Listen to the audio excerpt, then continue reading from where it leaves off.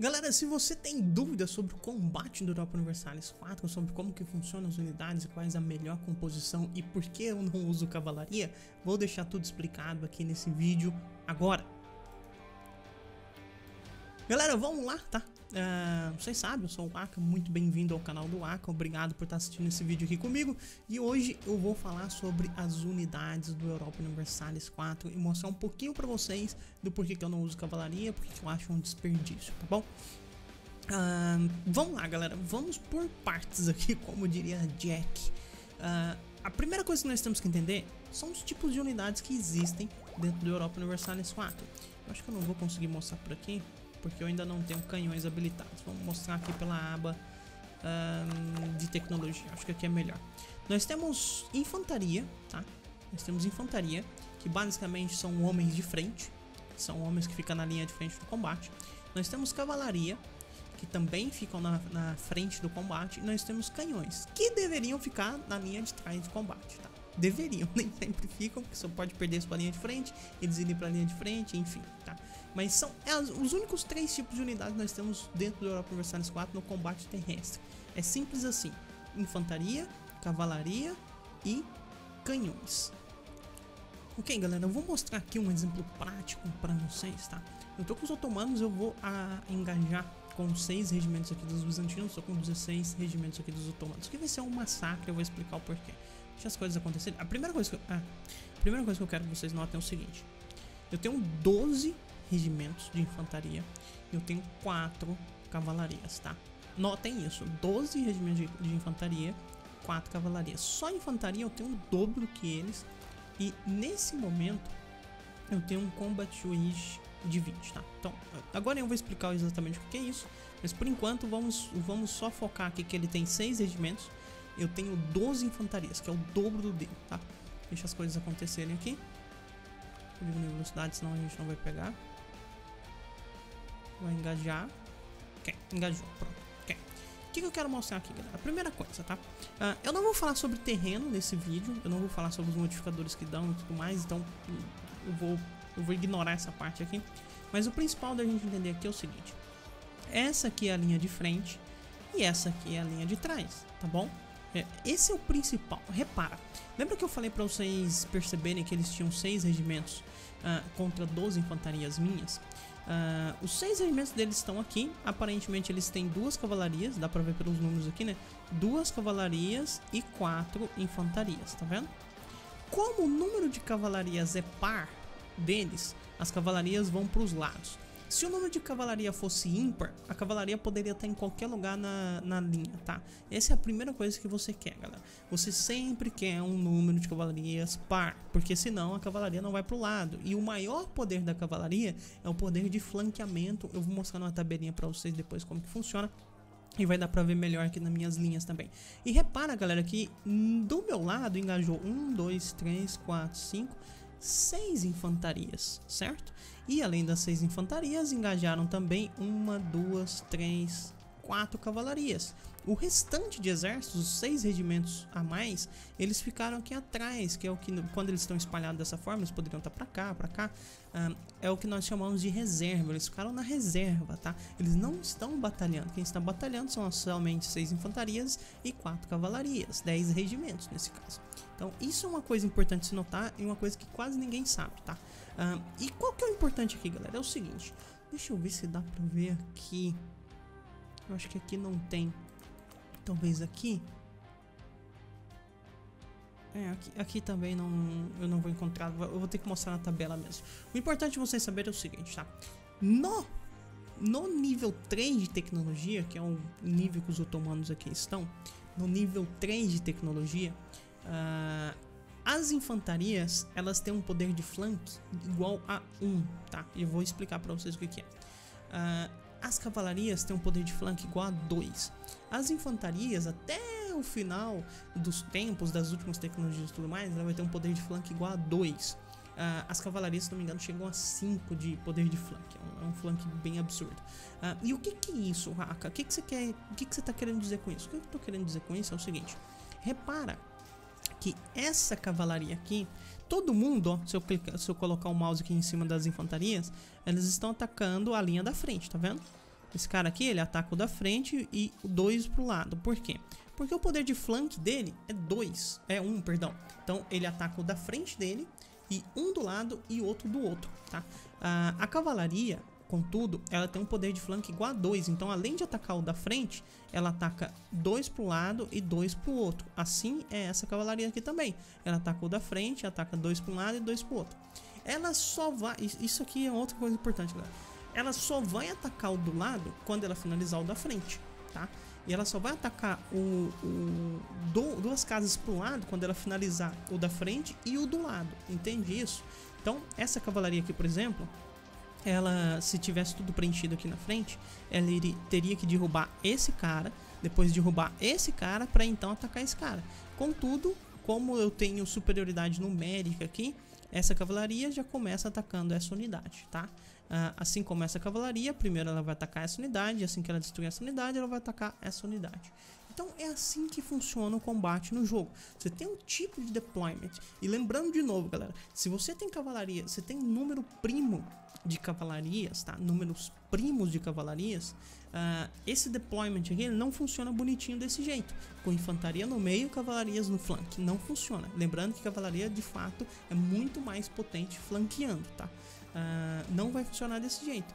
As cavalarias vão estar em qualquer lugar e as infantarias vão estar em qualquer lugar, e é isso que eu, que eu queria chamar a atenção. Se eu tivesse canhões aqui, tá? se os dois lados tivessem canhões, por exemplo, os canhões estariam na linha de trás, tá? E vamos supor que os bizantinos, os bizantinos têm seis regimentos. Se eles tivessem seis canhões, cada linha aqui atrás, cada uma dessas linhas aqui, teria um canhão aqui atrás. Os canhões eles são as únicas unidades que conseguem atacar a partir da linha da back row aqui, tá? É a única unidade. Além disso, vamos supor que ele tivesse oito canhões, quer dizer que ele tinha dois canhões a mais. Então, no, na hora de posicionar os regimentos, esses canhões a mais eles iriam vir aqui para o meio, tá? Eu teria dois canhões aqui no meio, uh, infantarias, cavalarias, fazendo a linha de frente para ter seis canhões aqui atrás. Ele iria equilibrar isso. Na verdade, ele ia ter só um canhão na frente. Né? Ele tendo um canhão na frente, ele teria a back row preenchida. Basicamente é isso. Se você, se você preenche a back row sobra canhão, esses canhões vão para frente. É, é, assim que funciona o deployment, tá? A quantidade de exército aqui que vão lutar. Ok. Meio confuso, mas tudo bem. Agora, galera, eu vou passar aqui para os modificadores, rapidinho, tá? Isso aqui vai ser bem rápido, porque daí eu vou entrar na parte do porquê que eu acho cavalaria uh, que não vale a pena cavalaria e qual o melhor ratio para você usar de cavalaria e infantaria. Um, primeira coisa, galera, vamos para os modificadores aqui. Você tem Militar Tactics. Militar Tactics ele está, ele está vinculado à quantidade de disciplina que você tem e também à tecnologia. Então a tecnologia te dá Militar Tactics, disciplina também te dá Militar Tactics. E basicamente isso aqui é uma é um modificador que você tem que mitiga dano. Ele diminui a quantidade de dano que você leva. É, é para isso que serve Militar Tactics. Eu vou mostrar depois para vocês no, na formulazinha de, de dano que acontece todo momento quando você está batalhando. Tá? Uh, isso aqui é disciplina. A disciplina ela está, ela, ela, ela te dá Militar Tactics, ou seja, ela também mitiga dano, mas ela está muito mais ligada, vinculada à quantidade de dano que as suas unidades dá. Então é meio que a qualidade das suas unidades estão baseadas na disciplina, tá? Uh, Fort Defense, galera, quando você está fazendo uma siege, o Fort Defense significa o quão mais difícil é fazer siege naquele forte. O que, que eu quero dizer com quão mais difícil? Uh, os fortes em geral, eles têm 30 dias de base para fazer um tique de siege.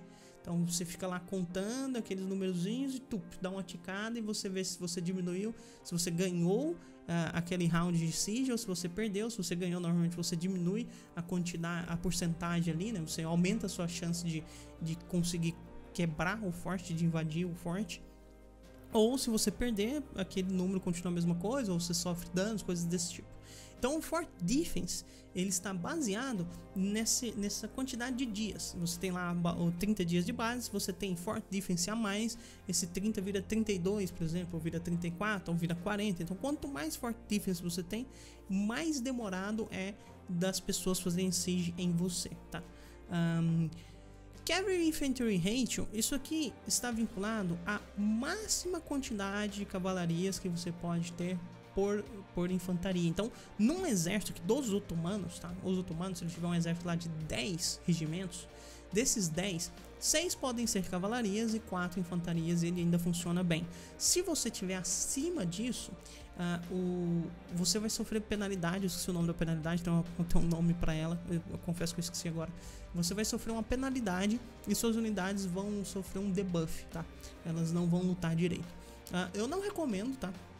Que se você tem 60% de Cavalry Infantry Rate, você use uh, ah, 6 e 4. Eu não recomendo, porque quando você começa a batalhar, geralmente as infantarias são mais fracas, elas vão morrer primeiro, principalmente que elas ficam no meio do combate. Uh, ou seja, você vai perder Uh, o seu ratio, você perde uma infantaria, você tem lá quatro infantarias e seis cavalarias. Se você perde uma infantaria no combate, uh, você vai, já vai sofrer o debuff no próprio combate, tá?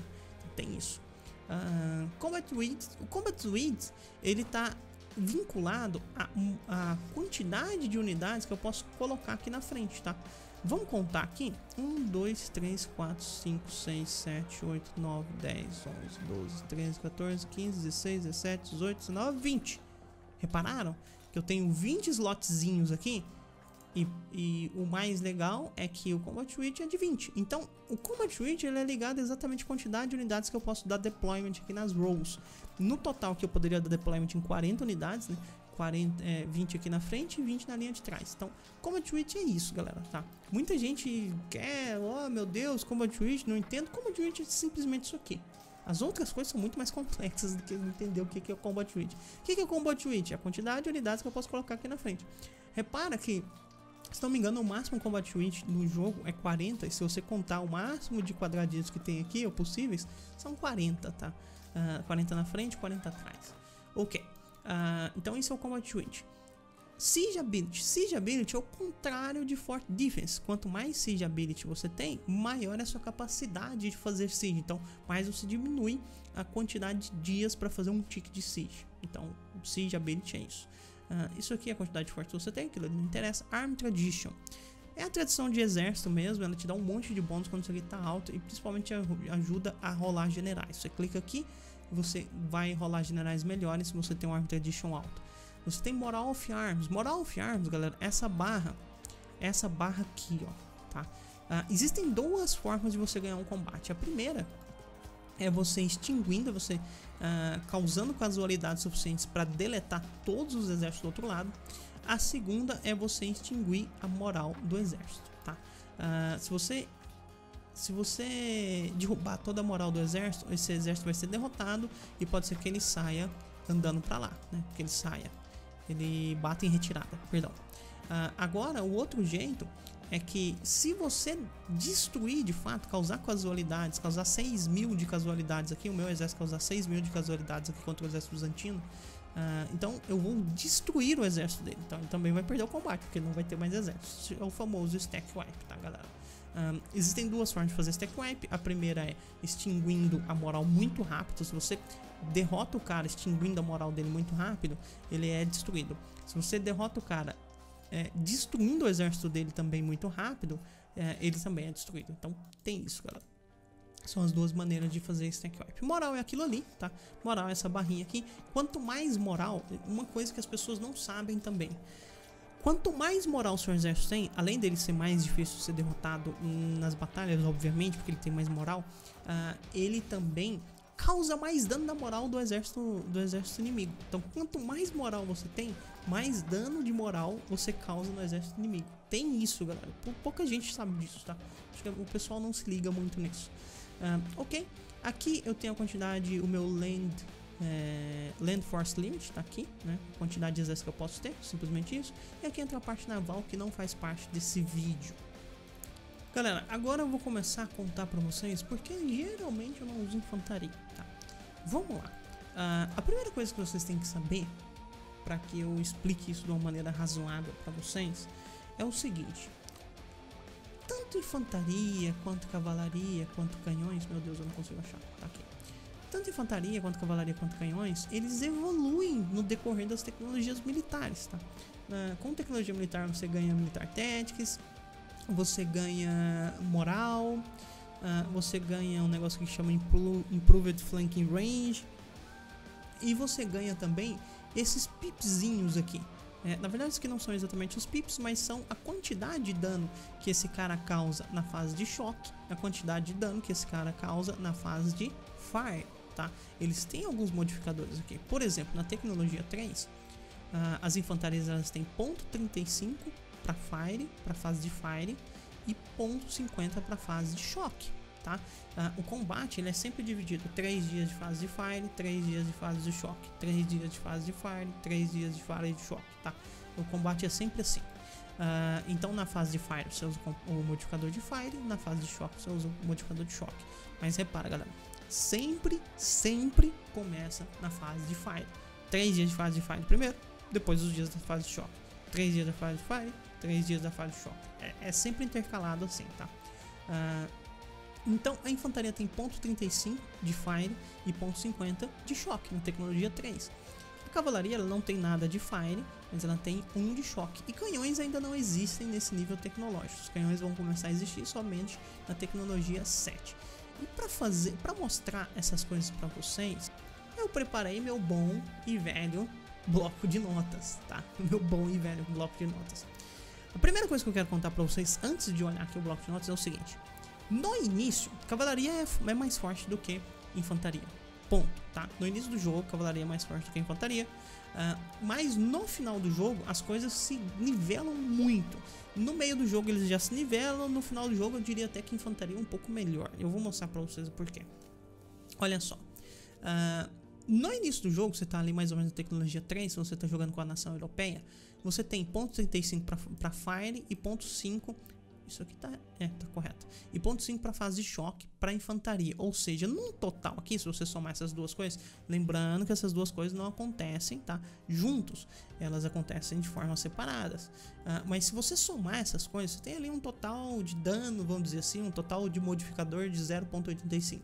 A cavalaria, você tem um ponto, né? Mas repara o seguinte, ponto 35 é um número bem baixo, principalmente se você for olhar lá no cálculo que você tem que fazer para olhar as casualidades e tudo mais, ponto 35 é um número bem baixo. 1 já é um número decente. Então, a cavalaria, além dela ser um pouquinho acima aqui, né, ponto 15 acima, é, ela também ela também tem um número muito mais expressivo, tá, galera? É, é isso, tá? Então, cavalaria no início do jogo é mais forte. Uh, infanta aí vamos comparar ali em tecnologia 8 mais ou menos, os canhões já surgiram, uma tecnologia a mais, tá? Uh, infantaria tem um total de 1.75 pontos, cavalaria tem 2, então repara que a coisa começa a nivelar aqui, uh, e depois uh, os canhões tem, tem 1.05 no total. Mas os canhões eu sempre coloco aqui dividido pelo, por 2, galera, pelo seguinte, se você usar canhões da maneira correta, os canhões é para eles estarem na linha de trás. É sempre eles estarem atacando na, da linha de trás. Se eles estão atacando da linha de trás, o dano que ele causa é dividido por dois. Então por isso que eu dividi aquilo ali por dois. É, é importante se ligar nisso. Uh, mas canhões na linha de trás é, dividem o dano por dois. E se eles estiverem na linha de trás também, eles sofrem dano dividido por dois. Então, tem, é, essas duas coisas é importante saber sobre canhões, tá? Mas o, o fato é que canhões têm 1.05 pips 1.05 de modificador de dano aqui na tecnologia 8. Canhões quando surgem, só para vocês entenderem também, eles não são tão úteis no combate. Não é necessário você ter um monte de canhões para você combater. Você vai ser melhor, seu, seu exército vai ser de maior qualidade se você tiver, né? Se você completar todo o it ali de canhões, isso é maravilhoso. Uh, mas uh, o, ele não é tão decisivo. Ele é muito mais decisivo em sieges, por exemplo.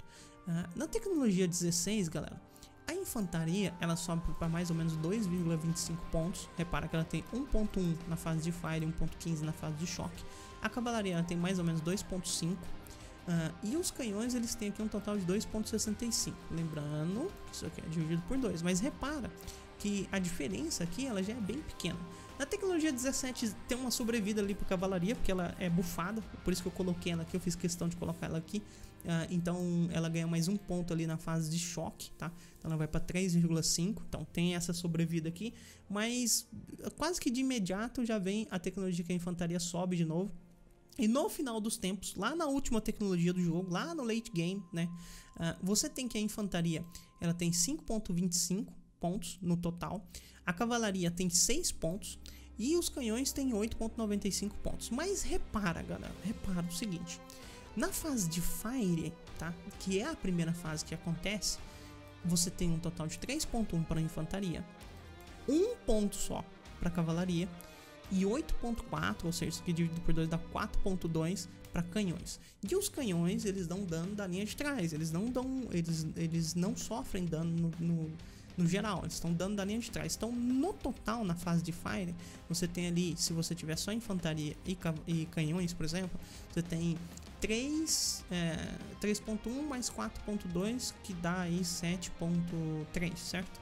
7.3 de dano tá? Se você tiver uma cavalaria e aí ela vai estar tá ocupando o lugar de uma infantaria, você vai ter 5.2 de dano. Então, isso aqui já é uma diferença bem considerável para a fase de Fire, tá? E olha só, deixa eu mostrar agora o cálculo para vocês. Ok, galera, trouxe vocês aqui para o wiki do Europa Universalis 4 para mostrar mais ou menos como que funciona o, o cálculo que ele faz para causar dano nas fases de combate, tá? Uh, parece que é um monstrinho aqui, mas não é. Olha só, a primeira coisa que a gente tem que entender é esse C-Base. O C-Base ele é 15 mais 5 vezes o resultado do roll. Cada fase de combate você rola um dado e esse dado ele é multiplicado por 5 somado com 15 e isso dá o seu C-Base, tá? Por isso que eu falo que o roll ele depende demais, galera. Se você rola 0, por exemplo, que é o que eu faço sempre, uh, você vai ter um resultado de C-Base 15. Mas se você rolar 9, esse C-Base aqui vai ser 60. Então a diferença é muito grande, ela é muito baseada nesse roll quase sempre, tá? Então tem o C-Base aqui. Aí você tem uma coisa aqui que ele chama de US Attack. Esse US, ele é o, o Unity Strength. O que, que é o Unity Strength, galera? Voltando aqui rapidinho pro jogo, cada um dos nossos regimentos, ele é composto por mil unidades, certo? Então, para o Unit Strength, se você tem mil unidades no regimento, ele, ele vai comparando regimento por regimento, né, deployment por deployment para calcular, para fazer aquele cálculo. Uh, se você tem um regimento que tem mil unidades naquele momento, quer dizer que o strength dele é 1. Se você tem um regimento que tem 500, quer dizer que o, o unit strength dele é 0.5. Se você não tem, se tem zero, se acabou né, quantidade de exército daquele regimento, quer dizer que o unit strength dele é zero. Eu acho que vocês perceberam, é proporcional a quantidade de, uh, a quantidade de soldados dentro de um regimento, tá? Um, daí você tem esse, essa coisa que ele chama de UM Attack, isso aqui é uma coisa cal calculada, que é determinada pela, pela tecnologia, tá? Então, vamos supor que é a mesma coisa. E depois você tem o que eu queria, que é o Unit Phase Modifier, tá? Que é esse, essa coisa que ele chama de PM. O que, que é esse PM, Waka? O PM nada mais é do que aquilo que eu estava mostrando para vocês, do que esse númerozinho aqui, ó, tá? Então esse PM é isso aqui, se estiver na fase de Fire é aqui, se estiver na fase de Choque é esse número aqui. Então esse número ele entra diretamente aqui, 1 um mais um número, certo? Então, por isso que esses números aqui são tão importantes na hora de causar dano, na hora de dar, de, de dar dano no, nos soldados inimigos, tá? Aí depois tem outros detalhes aqui que se vocês quiserem eu posso explicar depois. Mas aqui entra disciplina, aqui entra militar tactics, aqui entra combat ability, aqui entra um monte de coisas, tá? Que não vem ao caso. Então, o que, que eu quero dizer com isso? No início do jogo, vocês viram que. Ah, uma coisa extremamente importante que eu acabei esquecendo de falar, galera. Repara que isso tudo aqui é multiplicado, ó. multiplicado, multiplicado, multiplicado, multiplicado, multiplicado, multiplicado, multiplicado. O que, que eu quero dizer com isso? Quer dizer que isso aqui é proporcional, proporcional ao roll, tá? Tudo isso aqui é proporcional ao roll. Então, por que, que eu estou dizendo isso? Lembra que aqui tem esse UM ataque, que é exatamente, uh, aliás, perdão, tem esse US ataque aqui, que é exatamente a quantidade, é o unit strength, a quantidade de exército que você tem no regimento tal. Se você tiver menos, se o unit strength diminui, se você tiver mais, o unit strength aumenta. Tá, então ok. Uh, com isso em mente, pensa o seguinte: se você tá aqui, aqui, nesse ponto aqui do jogo, sei lá, nesse ponto aqui do jogo, vai. E você tem lá que a sua infantaria tá causando 1.1 de dano no, no, na fase de infantaria, na fase de fire, perdão, a sua cavalaria está causando 0.5 e os seus canhões estão causando 2.40. Então, supondo uma linha completamente preenchida na fase de fire, tá? Se você tem uma infantaria contra uma cavalaria, você já tem, você já ganha 0.6 aqui, tá? Você já está ganhando 0.6 aqui. Uh, e além disso, tem os canhões, vamos supor que os canhões, a mesma coisa, então um canhão para um lado, canhão para o outro, eliminou e tal. Você está causando a mais 0.6 de dano? O que que acontece? Na fase de choque, que é quando a cavalaria vai causar dano, ela vai ter sofrido dano, certo? Então, se ela sofreu mais dano, se ela sofreu mais dano, quer dizer que na fase de choque ela vai causar menos dano por causa daquele US lá, do Unit Strength. Provavelmente a chance da cavalaria chegar aqui com menos, de, menos regimento, menos soldados do que a infantaria é bem maior. Por quê, galera? Porque a infantaria causa mais dano na fase de Fire. Basicamente isso, tá?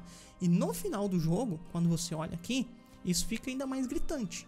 Porque a infantaria ela causa 3.10 de dano na fase de Fire, enquanto a cavalaria causa apenas 1. Ah, tudo bem, ela compensa aqui do outro lado. Só que isso aqui é mais, é mais do que 3 vezes. 3 vezes o dano que a infantaria dá. Isso aqui é, é duas vezes e meia, tá? É duas vezes e meia. E fora que quando chegar nesses duas vezes e meia aqui, esse cara já vai estar tá machucado. Então ele não vai causar 5 de dano. Então, por isso que eu acho que cavalaria não compensa, principalmente no final do jogo, tá? Principalmente no final do jogo. No início do jogo você pode argumentar, esse ponto 35 aqui ele é quase nada, né? Comparado com o dobro aqui do outro lado, tá? Então isso aqui é quase nada. Uh, aqui também você praticamente não tem nada, enquanto é dois do outro lado. Então é, aqui você pode usar cavalaria, mas aqui, galera, aqui não faz sentido nenhum, tá?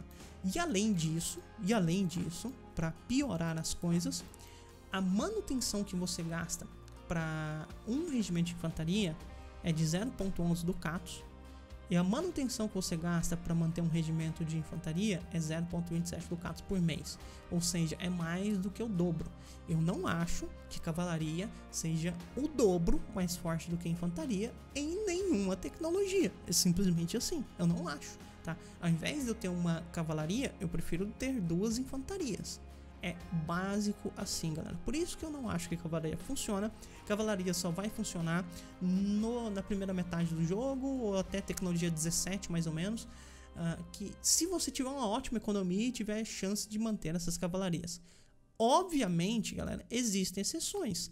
Tem nações que tem muito combatibility para cavalaria, que então acaba tendo um, a cavalaria acaba tendo um buff muito grande, então vale a pena. E existem hordas, por exemplo, existem as hordas com banners, banners de cavalaria é muito forte, principalmente no início do jogo. Então, obviamente, aí a gente está lidando com um outro universo, mas em condições normais de temperatura e pressão, eu simplesmente acho que não vale a pena a cavalaria. Então, por isso que quase todo jogo meu, você vê o, o início do jogo, eu pego o exército aqui, eu pego a cavalaria e eu deleto ela, tá? Quase todas as vezes eu faço isso aqui, ó.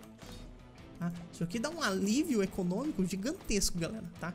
Isso aqui dá um alívio econômico gigantesco. Cada quatro cavalarias é um ducato mensal. É basicamente assim, quatro infantarias é 0.44 ducatos mensais. Então é mais do que o dobro. Simplesmente não vale a pena por causa disso. Se você vai usar cavalaria e você não é e você não é uma horda, você não é alguma coisa diferente, use no máximo quatro cavalarias, tá? Basicamente isso. Use quatro cavalarias. No meio do jogo você pode usar seis cavalarias e é isso, tá? Por que no meio do jogo eu posso usar 6 cavalarias? Porque o seu flank range aumenta. O flank range de cavalaria é 2, no meio do jogo ela vira 3, e no final não use cavalaria, então por isso que eu nem vou falar quantas cavalarias você vai usar no final. Ah, eu tenho um exército de 80 regimentos, quantas cavalarias eu uso? 6, não mais, tá? É, é simples assim, é simples, o número é flat?